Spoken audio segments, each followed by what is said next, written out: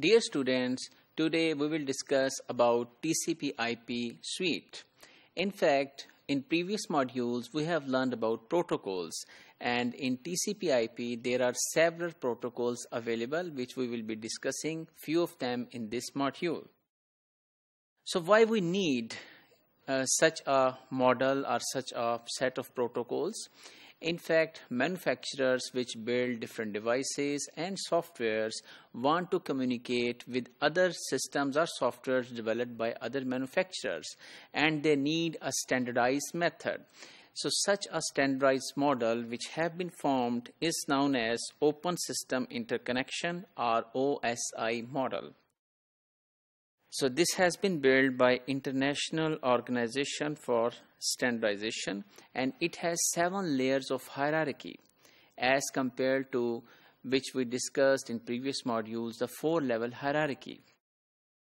However, this remains slow in replacing the four level hierarchy because it was already in use when OSI model was proposed as a seven layer hierarchy.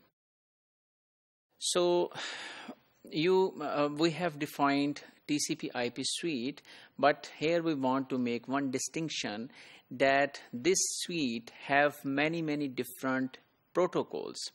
And one of the protocol is known as TCP which is transmission control protocol and other is known as internet protocol or IP but all of these protocols even there are many more protocols other than TCP IP in TCP IP suite, but we normally or wrongly refer all of this suite as TCP IP suite. So uh, in this module, we will be mainly focusing on TCP and IP protocols. TCP defines a version of transport layer and there could be more than one way of implementing the TCP using one way could be that we use TCP uh, the transport layer implementation and the other is UDP the user datagram protocol. And uh, why we have two options? In fact this is similar that we want to ship some of the uh, things to our friend and we have two shipping companies available so sometime depending upon the requirements we decide that we need to ship our uh, things using one shipping company which could be TCP and another shipping company which could be UDP. We will see further details. So in fact the TCP establish a connection first. So whenever you implement the transport layer using TCP, it first sends a signal to the receiver. And receiver acknowledges that okay I am ready. Now you can start sending the data. And then that data is transmitted.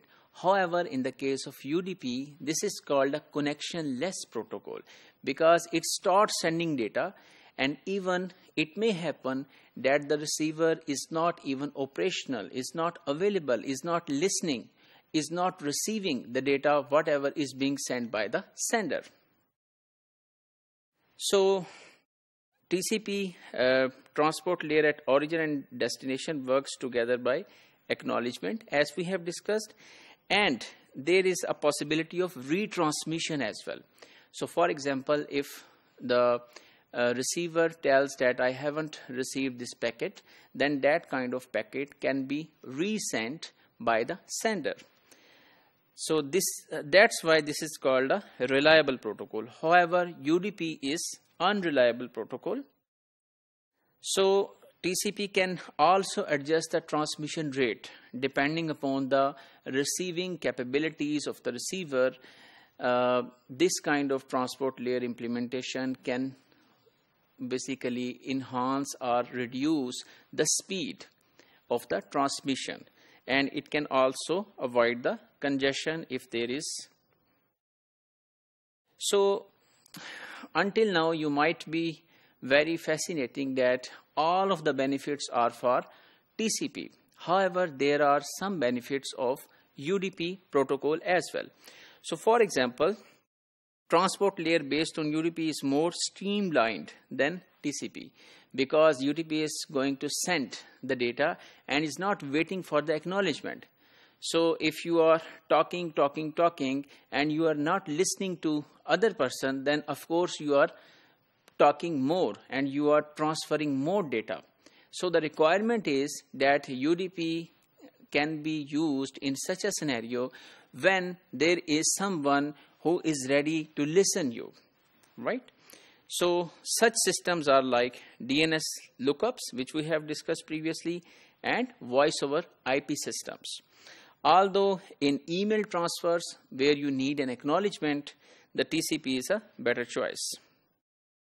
And then there is a IP, Internet Protocol, which is a standard implementation of network layer.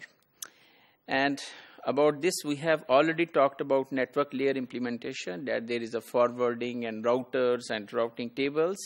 However, there is one another uh, new thing which we are going to learn in this module, which is called hope count. So basically, uh, when the packet is sent from the sender side, so there is a count of hope that is added with the packet.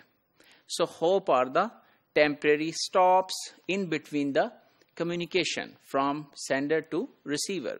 So it say for example 30. So this means that this packet should be uh, received by the receiver within the 30 hops otherwise this packet will be lost or will be terminated.